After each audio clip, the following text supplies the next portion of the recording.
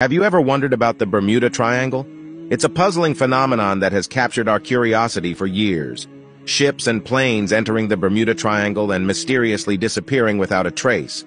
Some think it's cursed, while others believe it's just a series of unfortunate events. One popular idea is that magnetic forces in the area mess with compasses and navigation systems.